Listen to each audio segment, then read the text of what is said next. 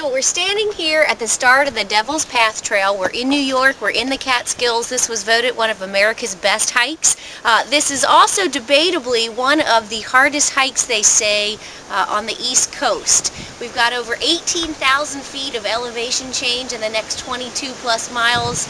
Uh, we're going to summit six different Catskill peaks. So we're up for the challenge and uh, we're hoping that you come along for the ride with us. Let's go.